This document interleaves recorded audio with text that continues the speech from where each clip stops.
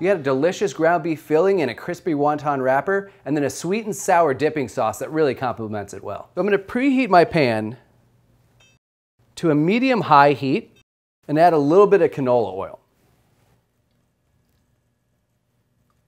Now that the pan's hot, I'll add the ground beef. So I'm allowing this to get a deep brown on it because I really want to develop the flavor of the ground beef. I want to chop it up finely because eventually we'll be putting it into an egg roll wrapper and rolling it up. And if it's really chunky, it's a little harder to roll into these cigar shapes. So now we'll season with a little salt,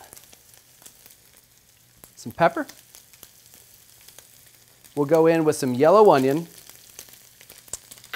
and about two cloves worth of garlic.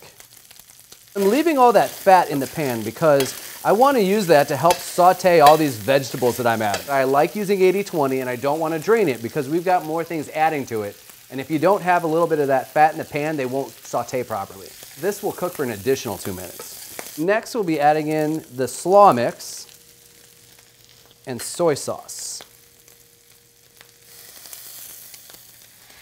The reason I really like using slaw mix for this is because it has two ingredients that I'd be putting in anyways, which are cabbage and carrots, but it saves me the trouble of cutting them all up. And be aware, this is undressed coleslaw mix, not coleslaw. So it is just shredded cabbage and carrots. This is done cooking now.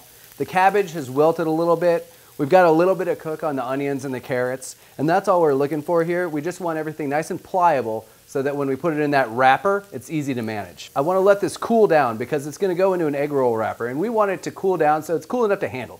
It doesn't have to be cold, it doesn't have to be quite room temp. You just wanna make it manageable to handle and not too hot because it'll make the egg roll wrapper sticky. While that cools, we'll go on to make the dipping sauce for the stogies. It's really simple. We take two teaspoons of cornstarch and add it to our remaining two teaspoons of soy sauce. I'm using this as the base for my slurry, which is the thickening agent in the sauce. So now to our saucepan, we will add a half cup of water, white vinegar, sugar,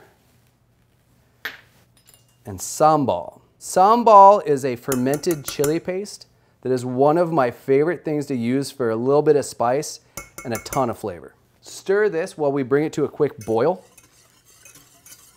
We want to make sure the sugar fully dissolves and everything's kind of incorporated. It's always important to remember when you're making a cornstarch slurry, you want to use water or in this case I use soy sauce that's no warmer than room temperature. Cold is also good. You don't want it to be warm or else it clumps. That's coming to a rolling boil. Give this one more quick stir to make sure all the cornstarch is off the bottom. We'll add that in. Again, whisk it, let it boil, and cornstarch works really fast. So it only takes about 30 seconds and the sauce is done. All right, it's good to go. We'll remove that from the heat. We'll let that cool a little bit while we make our beef stogies. Now that the filling is cooled down enough to work with, I'll start assembling the stogies. What I have here are just some egg roll wrappers that I bought at the grocery store. I'll take a, about a quarter cup of the filling. I'll put it on one side of the egg roll wrapper and then on the opposite side, I'll brush with just a little bit of water. That'll act as my glue. Then I'll just take it, roll it, and here's the important step. You want to kind of pull back to get these tight. And I'll even do it a couple times just to ensure that I get a nice, even cylinder. It's okay if a little bit of the filling sneaks out. It'll still be on the inside. And then just start rolling. You just want to keep it nice and tight then roll right across that watered edge. Maybe push in from the sides if any of the filling starts to come out, and then put them on your baking sheet.